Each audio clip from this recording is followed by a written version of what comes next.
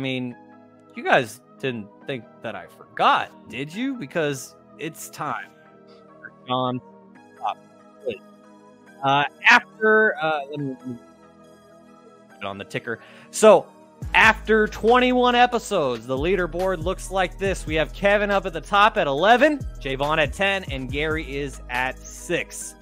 So, I've been having Kevin be the first to answer the question for weeks now because he has been at the top of the leaderboard for weeks. I'm going to switch things up this week. Jaevon, you're going to go first. Uh-oh. So here is the question. This person is the only player in Division 1 history with multiple career 35-point triple doubles. In history of all time? History of all time, we're talking college basketball. Oh, college. I'll read the basketball, que- college college basketball. I'll read. I'll read the uh, the question one more time, as this is March Madness edition, part two of Shaun's pop quiz, following up from last week. So I'll read the question one more time. This person is the only player in Division One history with multiple career 35 point triple doubles. Jesus. Is Trae Young? Avon, you have 10 seconds. What was your answer? Trae Young? It is not Trae Young. That is incorrect. I Kevin, think it was. for the steal, do you have a guess of? I'll read the question one more time before I get your answer. So this person is the only player in Division One college basketball history Kobe with Bryant. multiple career 35 point triple doubles. As Jaevon. 'cause obviously Kobe didn't play. Uh, yeah. Co- yeah. Let's just name every guy who didn't go to college. Uh, so, Kevin, what is your guess? Who is the person? Magic Johnson. That is incorrect. Damn. I don't know who it is. I have no idea. I'm a little disappointed in you guys. Ja Morant. Number one, number one. Damn. No, it's not Ja. Well, Number one, due to the phrasing of the question saying person, it's Caitlin Clark. We just we just witnessed her get a Oh, 34 you point did triple double say- last night. Caitlin Clark had a 41 point triple double. She now has multiple 35 point triple doubles because, as we know, on Sunday against Louisville, Caitlin Oh, Clark had question. 41 points, 10 rebounds, 12 assists, and three steals, and she was 8 of 14 from three point land.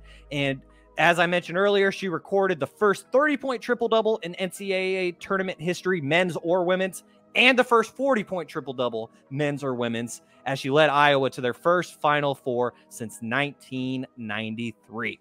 Now we gotta ask if it's men's or women's with every question. man, I mean, I'm not. I mean, I'm not gonna tell you whether it's men's or women's. Um, Uh, I just, it, yeah, that's why I say this person. This All right. person. So, Kevin, now on to you.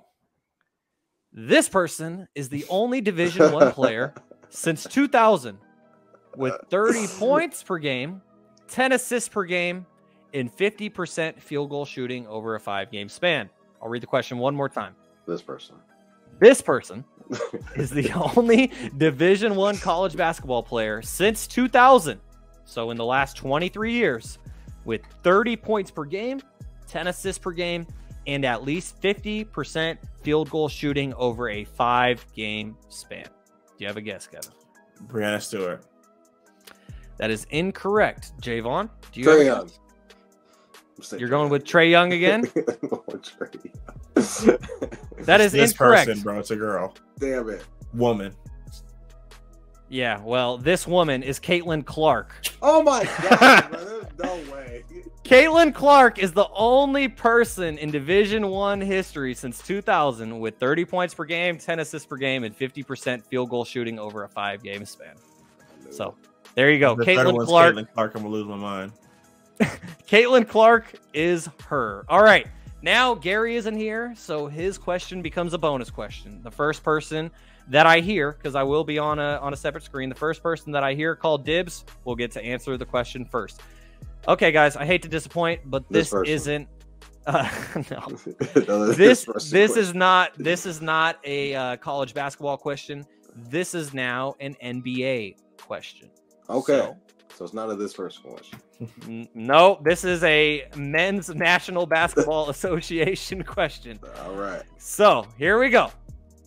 This is the first time since 1998 that this team will be in the playoffs without this future Hall of Famer. So I got I'm it, gonna I need you to I got it, I got it, I got it, I got it, I got it, I got it, Okay, I. I heard- gotta finish, gotta finish. I heard. Kevin. I heard Kevin, and I'll just say Kevin before I get your answer.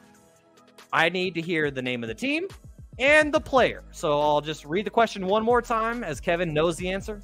This is the first time He since knows half the 1998 that He this team that. will be in the NBA playoffs without this future Hall of Famer. So two two answers to one question, Kevin. What are the answers? LeBron James and the Cleveland Cavaliers. Ding, ding, ding! Ah. Kevin gets it right. That is correct. This is the first time since 1998 that the Cleveland Cavaliers will be in the NBA Cavaliers. playoffs without LeBron James. Our entire lives. Kevin, you were a year old, but basically Jaevon and I's entire lives, the Cavs have not been in the playoffs without a Without guy named LeBron. LeBron James. Fun That's fact: fact. Donovan Yeah, Mitchell let's- was let's two hear it. years old. Garland. Mobley, and Wasn't Jarrett Allen born. weren't even born. Yeah. That's amazing. That's amazing. It's lonely at the top, All right. Toddy.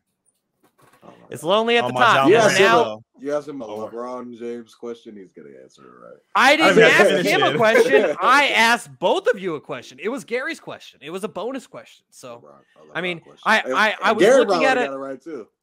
yeah, pro- I hope so. Uh, uh, but but yeah, so so there you go. Kevin now has twelve. Jaevon has ten, and Gary has six after twenty two episodes of uh, Stats Over Politics. And